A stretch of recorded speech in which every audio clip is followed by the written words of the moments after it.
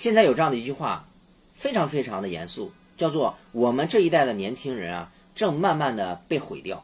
那么是谁？是哪些无形的手，慢慢的毁掉我们这些年轻人的未来呢？红鹤是这么考虑的：第一，是现在这个社会当中的信息舆论的引导。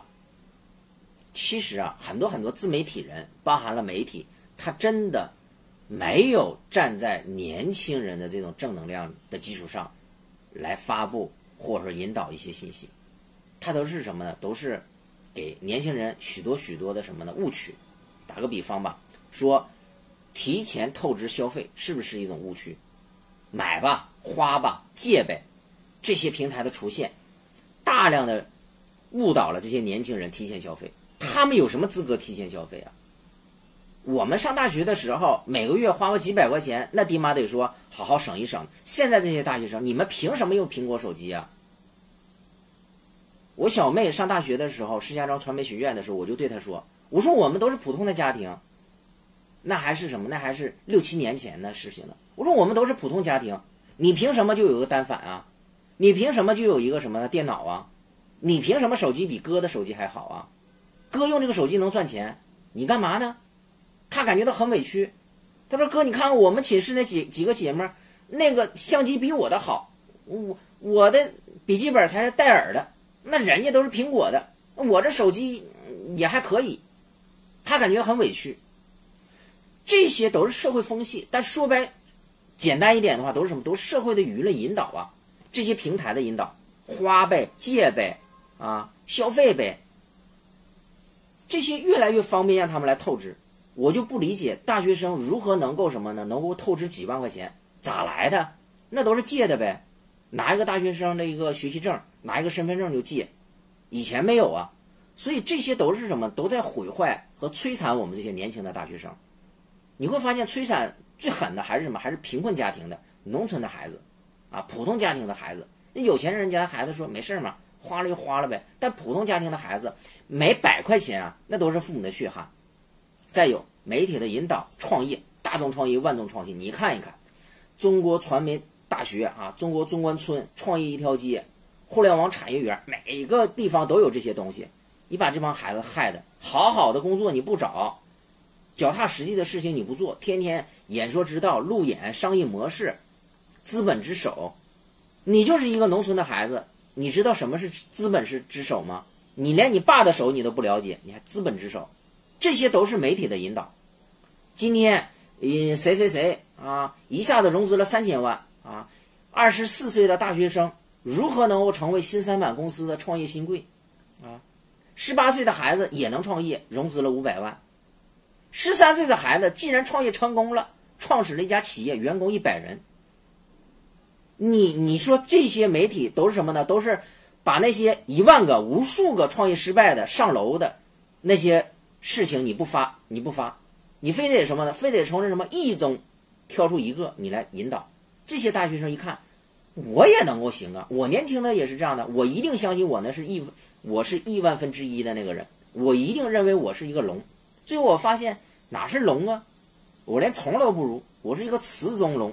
雌中龙什么概念呢？一个水盆里的一条龙，你管个屁用啊！蛤蟆都可以在你脑袋上蹦，对吧？你还不如虫呢。现在这些人就是这样，都是雌中龙。说你命中犯龙啊，你真是个龙，但是你是雌的，你龙啊，你还不如虫呢。那虫活的其实挺好啊，有片叶子就吃了。你这你说你这雌中龙你是干嘛呢？不要鼓吹年轻人的这些新的思想，也不要让这些年轻人有一种什么呢？饱和的欲望。一定要认识自己的不足，这才能够对年轻人啊有所什么呢？有所价值的。现在都把这些年轻人吹跑偏了，跑偏最终受伤的是什么？最先受伤的就是父母，然后就是这个社会嘛。